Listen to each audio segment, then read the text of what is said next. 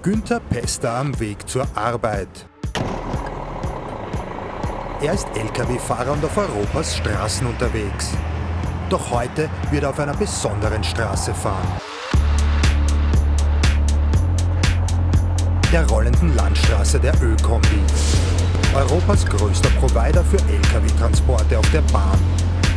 Lastwagen auf Schienen unterwegs quer durch Europa. Günter Pester am Weg durch Tirol. Er hat 40 Tonnen von Deutschland nach Italien zu bringen. Jetzt mit den Baustellen ist es eine Katastrophe. Also eine reine Katastrophe. Oder an einem Montag.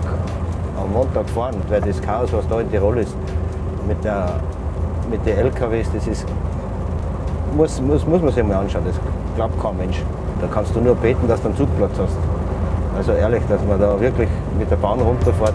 Ein Zugplatz für sich und seinen LKW auf der rollenden Landstraße, die jährlich allein am Brenner schon von mehr als 160.000 Lastwegen genutzt wird. Tendenz steigend, denn immer mehr genau kalkulierende Frechter steigen auf die rollende Landstraße um.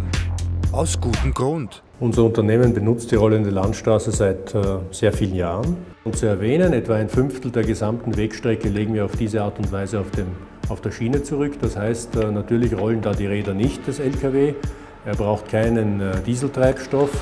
Er nützt sich auf diesem Fünftel der Wegstrecke eben nicht ab. Er zahlt nebenbei auch der, in der Zeit keine Maut, was nichts mit Abnutzung zu tun hat, aber mit dem Geldbeutel. Äh, also dieses, dieses Fünftel der Wegstrecke äh, legt man eben anders zurück als auf der Straße. Doch es gibt noch einen weiteren wichtigen Vorteil der rollenden Landstraße, die Ruhezeit. Während der Lastwagen am Zug steht, kann der Fahrer die Ruhezeit konsumieren. Wenn er dann vom Zug fährt, kann er wieder voll einsatzbereit weiterfahren und damit mehr Kilometer am Tag machen. Während Günther zum Terminal der rollenden Landstraße in Wörgl fährt, reserviert die Spedition einen Zugplatz für ihn und seinen LKW. Und entsprechend beginnt im Hintergrund die Arbeit der Logistiker. Schließlich wiegt ja so ein Fahrgast am Zug an die 40 Tonnen. Und diese 40 Tonnen sollen sicher transportiert werden. Deshalb werden die Spezialwaggons vor der Abfahrt nochmal auf Herz und Nieren geprüft. Kein Risiko. Für die Sicherheit der Fracht sorgt die Ö-Kombi. Und als Günter Pester dann am Terminal vorfährt, steht schon ein Waggon für seinen Lastwagen bereit. Servus. Habe Ehre, servus, danke. Servus. Ciao. Die Verladung am Terminal Wörgl hat begonnen.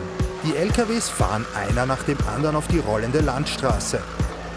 Innerhalb von nur 15 Minuten werden alle 20 Lastwegen auf den Spezialwaggons stehen. 66 Mal am Tag das gleiche Prozedere. Routine für Bahnarbeiter und Fahrer. Über 10 Millionen Tonnen werden jedes Jahr per Lastwagen am Zug transportiert. Günther hat seinen LKW geparkt und gesichert und steigt in den Liegewagen. Inzwischen sind alle LKW an Bord, die Verladung abgeschlossen. In Kürze wird der Zug abfahren. So, da schlafe ich. Jetzt machen wir Pause, gehen wir auf der Ballwürstel. Im zentralen Stellwerk in Innsbruck wird inzwischen die Strecke für die rollende Landstraße freigeschalten. 1100 Tonnen werden sich in Kürze auf den Weg über die Alpen machen.